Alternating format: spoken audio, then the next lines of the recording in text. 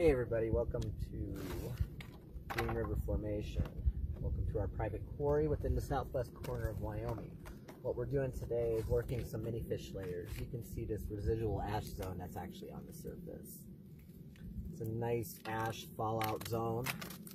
You know, and right below these layers, there's a depth mortality layer that we call the mini fish layers within our formation. So, take this piece out of here really quick so you guys can check this out. You can see all the, the multi-layer of little fish. There's some coprolite right there, so that's fish poo. A lot of people know what that is. So you can see a lot of those Knightia eocaena around the plate here. So let's take that off. Then, oh, look at that one. How nice they are.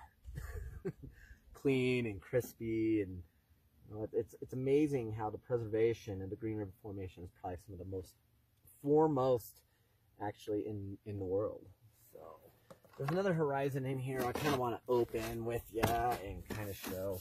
There's another horizon right here that you see a big mortality layer.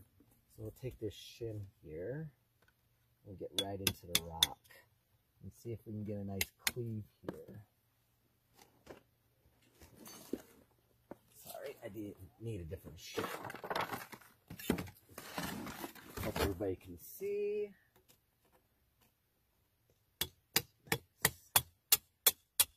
So we're just going to slowly take this off, working the edges methodically around, trying to get a nice straight one cleave. And, ooh, what do you think it is? Woo! That is so nice. Look at those little nidioceans. What really high definition, beautiful, just beautiful specimens. So I hope you enjoyed the, a short little while with us up here. It kind of shows you what we do a little bit more methodically. Um, these are some of my favorite layers. I, I hyper focus a lot of a lot on these because there's only one particular layer that they reside in. So thank you so much again, and thanks for supporting In Stone Fossils. And everybody have a fantastic day and a fantastic weekend.